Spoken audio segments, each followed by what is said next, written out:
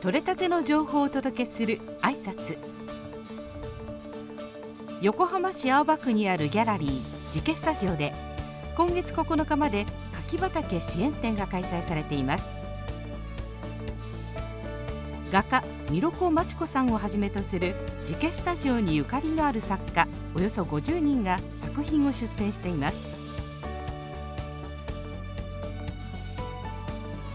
展覧会のタイトルになっている柿畑とはギャラリーの前に広がるおよそ1200平方メートルの土地のこと。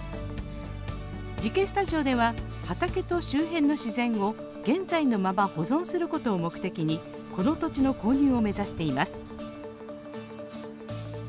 このジケスタジオ前の柿畑があの大型トラックの駐車場と資材置き場になるっていう話が持ち上がったんですね。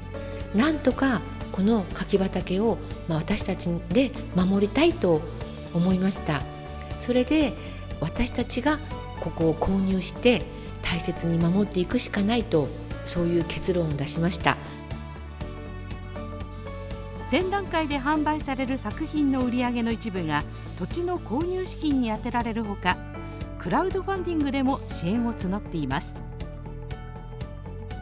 生きた里山が住んでいる近くにあるっていうことはとっても心が豊かになることだと思うんですね。生きた里山が残っていくことを強く願っています。